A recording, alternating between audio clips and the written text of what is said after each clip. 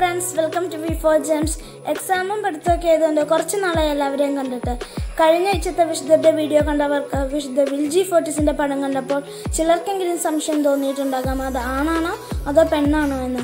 കാരണം അവൾ പെണ്ണുങ്ങളെ പോലെ ഉടുപ്പും ഇട്ടിട്ടുണ്ട് എന്നാൽ താടിയും മീശയും ഉണ്ട്. അപ്പോൾ ഇന്നത്തെ വീഡിയോയിൽ ഞാൻ വിശുദ്ധ വിൽജി ഫോർട്ടിസിനെ കുറിച്ച് പറഞ്ഞു തരാം.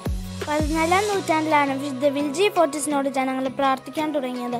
ധൈര്യശാലിയായ കന്യക എന്ന അർത്ഥം വരുന്ന വെർഗോ ഫോർട്ടിസ് എന്ന ലാറ്റിൻ പദത്തിൽ നിന്നാണ് അവളുടെ പേര് വന്നിരിക്കുന്നത്.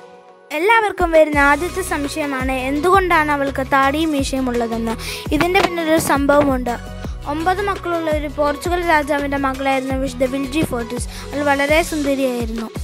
അവളുടെ പിതാവിന് ഏറ്റവും വലിയ ആഗ്രഹമായിരുന്നു അവളെ വിവാഹം കഴിപ്പിക്കുക എന്നത്. എന്നാൽ അവൾക്കത് ഇഷ്ടമില്ലായിരുന്നു.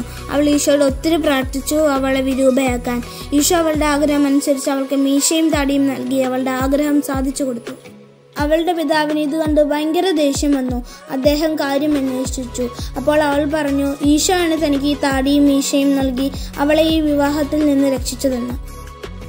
ഇത് കേട്ട അദ്ദേഹം വളരെ കോപിതനായി അവളോട് പറഞ്ഞു നീ ഈശോ എത്ര സ്നേഹിക്കുന്നുണ്ടല്ലോ. അപ്പോൾ നീയും ഈശോയെ പോലെ തന്നെ ക്രൂശിൽ മരിച്ചാൽ മതി. എന്നിട്ട് അദ്ദേഹം അവളെ ക്രൂശിച്ചു.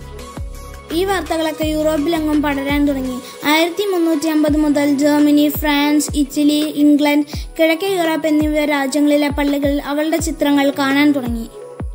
ജൂലൈ ഇരുപതാണ് അവളുടെ ഫീസ് ദിനം. ഇപ്പോൾ വിശുദ്ധ വിൽജി ഫോർട്ടിസിനെ കുറിച്ചുള്ള സംശയമെല്ലാം മാറിയിട്ടുണ്ടാകുമല്ലേ?